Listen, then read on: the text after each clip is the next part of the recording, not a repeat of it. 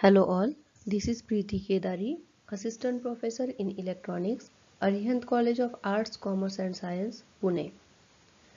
Today we are going to discuss about basics of microcontroller and Intel 8051 architecture. The topic is 8051 memory organization and it is from SYBSc Computer Science course Microcontroller Architecture and Programming. 8051 memory. The 8051 microcontroller's memory is divided into program memory and data memory. Program memory is used for permanent saving program being executed while data memory is used for temporarily storing and keeping intermediate results and variables. It means that whatever program that will be the permanent program it has to be stored in ROM that means program memory and the data which is required during the calculations or uh, data storage it should be stored in RAM that is the temporary storage. Now first one is program memory ROM. Program memory is used for permanent saving program that is code being executed. The memory is read only Depending on the settings made in compiler, program memory may also be used to store a constant variables. The 8051 executes programs stored in program memory only. Code memory type specifier is used to refer to program memory. 8051 memory organization allows external program memory to be added. Internal RAM as we have already seen in features of 8051 microcontroller, it is having 128 byte of internal RAM which is organized into three distinct areas such as 32 bytes of working registers from addresses 00H to 1FH. A bit addressable area of 16 bytes occupies RAM addresses 20H to 2FH and a general purpose RAM from 30H to 7FH. The total 128 byte RAM ranges from 00H to 7FH as given. The internal RAM organization diagram is given here. So as we have already seen the working registers are ranging from 00H to 1FH. This is subdivided into 4 register banks that are bank 0, bank 1, bank 2 and bank 3. The specific bank is selected using PSW register. 20H to 2FH is bit addressable area and 30 to 7FH is general purpose RAM area. As shown in figure, the 128 bytes of internal RAM is organized into three distinct areas. 32 bytes from address 00H to 1FH that make up 32 working registers organized as 4 banks of 8 registers each. The 4 register banks are numbered 0 to 3 and are made up of 8 registers named R0 to R7. Each register can be addressed by name when its bank is selected or by its RAM address. Bits RS0 and RS1 in the PSW determine which bank of registers is currently in use. Register banks not selected can be used as general purpose RAM. Bank 0 is selected on reset. That means by default bank 0 is used. Bit addressable area of 16 bytes occupies RAM byte addresses 20H to 2FH forming a total of 128 addressable bits. An addressable bit may be specified by its bit address of 00H to 7FH or 8 bits may form and byte address from 20H to 2FH. A general purpose RAM and above bit area from 30H to 7FH are addressable as bytes. Internal ROM we have already seen that internal ROM of 8051 is 4K bytes. That means it is ranging from 0000H to 0FFH. The corresponding block of internal program code contained in an internal ROM occupies code address space 0000H to 0FFH.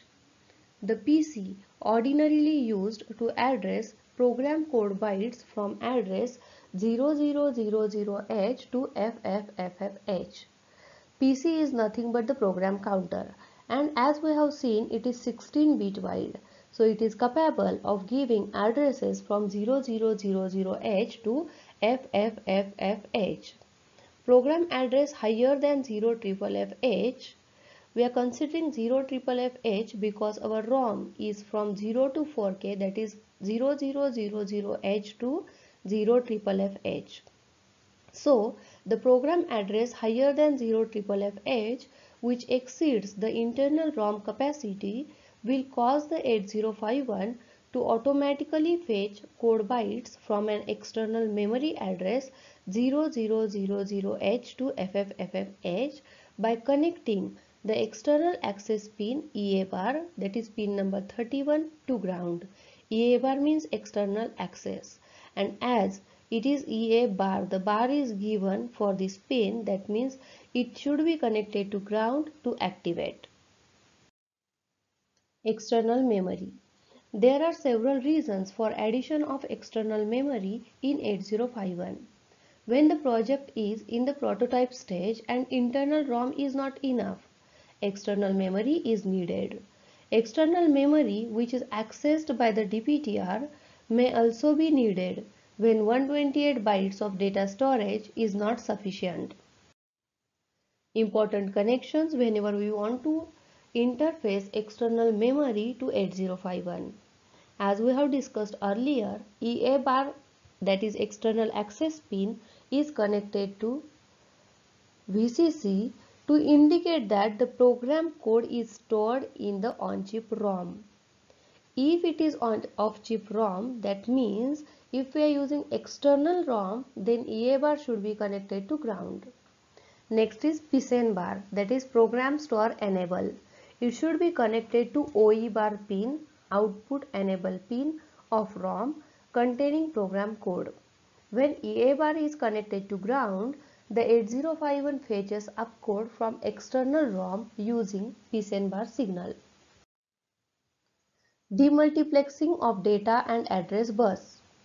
PC is 16-bit register capable of addressing 64K external memory that is 2 raised to 16. P0 and P2 these are the two ports as we have already seen they provide 16-bit address to access the external memory. P0 provides lower 8-bit addresses A0 to A7 and P2 provides higher 8-bit address A8 to A15. P0 is also used to provide 8-bit data bus D0 to D7. P0 port is multiplexed port and ALE that is address latch enable signal is used to demultiplex it. When ALE is equal to 1 these port pins are considered as address pins or address bus and when ALE is equal to 0 it is used as data bus. To extract the address from P0 pins we should connect P0 port to 74LS373 latch and ALE pin to enable the latch. Memory capacity and address lines. The simple relationship is with n number of lines, we can represent 2 raised to n number of addresses. For example, the memory is 2 KB.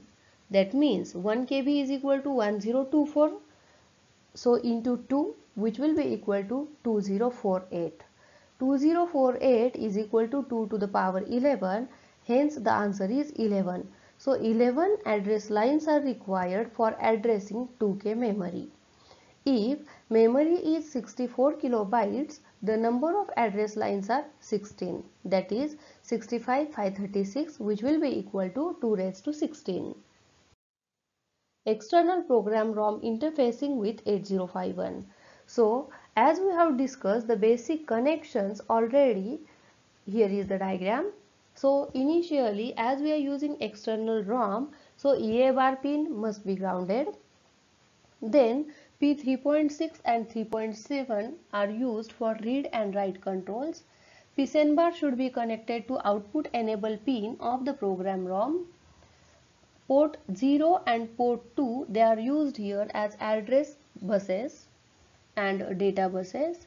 So port 0 is multiplexed address bus and ALE pin is used to demultiplex it using the latch 74LS373. For 8K memory, 13 lines are required. Here, we are interfacing 8K into 8 program ROM. So, as we have discussed calculations earlier, so here 13 address lines are required, out of which lower 8 lines are taken from P0 by demultiplexing it and higher 5 bits are taken from port 2. PSEN bar is connected to OE bar and CE bar of memory to select it as well as to read data from memory. EA bar is grounded showing external memory interfacing. External RAM interfacing with 8051. In some examples, data is placed in code space and used the instruction move CA comma at A plus DPTR to get the data. Move C that means here we are using C over there it is for code memory space. We can say that whenever MOVC instruction is used, we are using lookup tables in the program. In 8051 family, there is also a separate data memory space. Program space is accessed by PC and data space is accessed by DPTR register and instruction MOVX is used for the same move xa comma at dptr instruction is used. External data RAM interfacing with 8051. Here figure shows the interfacing of external data RAM with 8051. RD bar and WR bar are connected to OE bar and WE bar of RAM. RD bar is the read pin, WR bar pin is the write pin OE bar output enable for reading purpose and WE bar is writing enable that is for writing purpose. CE bar that is chip enable is also known as CS bar chip select. This will be connected to address decoding logic. Move X A at DPTR is the instruction used to read external RAM. So here the external memory timings are given. Figure above shows timing associated with an external memory access. During any memory cycle, P0 is time multiplexed. That means it first provides the lower byte of the 16-bit memory address and then acts as a bidirectional data bus to write or read a byte of memory data.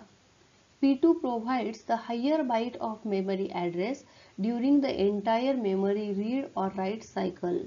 And as we have discussed earlier, ALE pulse is used to demultiplex these two ports as address or data buses. The lower address byte from P0 must be latched into an external register to save the byte. Address byte save is accomplished by the ALE clock pulse that provides correct timing for 74373 to latch. Port 0 pins then become free to serve as data bus. If the memory access is for a byte of program code in the ROM, the PSEN pin will go low to enable the ROM to place a byte of program code on the data bus. If the access is for a RAM byte, the WR or read pins will go low enabling data to flow between the RAM and data bus. Here we have discussed the internal memory organization of 8051 that is RAM organization we have seen the external memory interfacing with the 8051. The reference book used for this is 8051 microcontroller and embedded systems using assembly and C, Mazidi and McKinlay Pearson publications. Thank you so much.